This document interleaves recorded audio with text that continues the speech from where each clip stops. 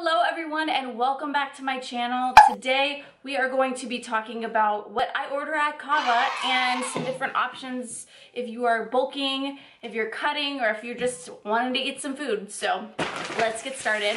By the way, if you haven't already, make sure you like and subscribe. If you really enjoy my videos, I really would appreciate it. It kind of gives me an idea of what videos you guys like and what you don't. So ordered from Cava Cava is an East Coast thing, but it has come to more of the South and some of the West Coast as well. So what I'm gonna do on my screen is I'm gonna put a screenshot of what I ordered. I ordered some of the Greek vinegar on the side. It is a little bit higher in fat. The traditional hummus has two grams of fat per serving and almost three carbs which is not that bad if you're getting one scoop. So that might almost be better to swap out instead of having some of the sauces that they have.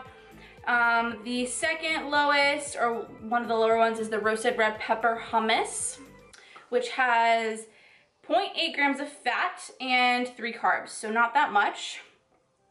The crazy feta is gonna be the one that has the higher amount, 6.5 grams of fat and 0.8 carbs.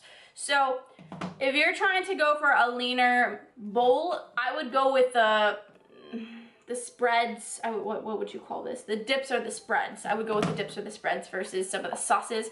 Some of the sauces are fine to get. It's not that they're bad.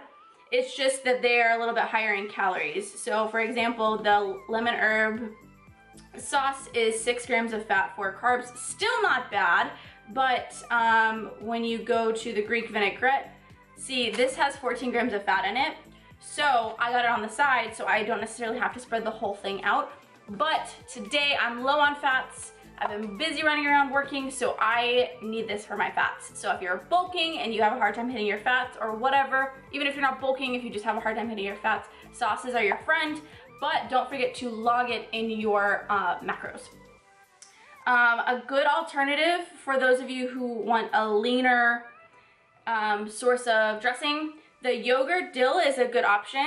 It has two grams of fat, one gram of carb, and two grams of protein. The garlic one is higher in fat, has 19 grams of fat, so I would avoid that if you are cutting and want lower fat.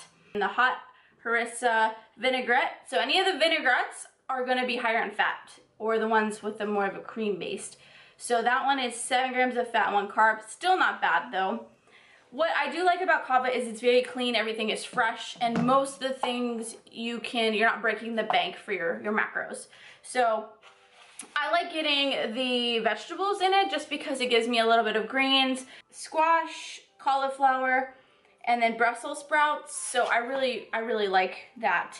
Um, sometimes if you're wanting to completely get like, you're, you're cutting back on carbs or you're trying to reduce your carbs or you're keto, a good option would be getting the greens as a base versus the rice.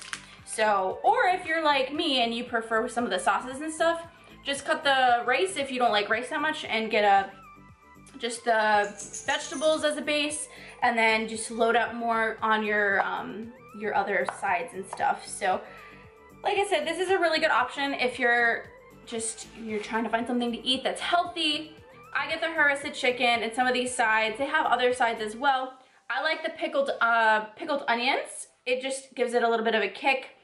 A little bit of the sauce helps as well. And this is also dairy free and gluten free.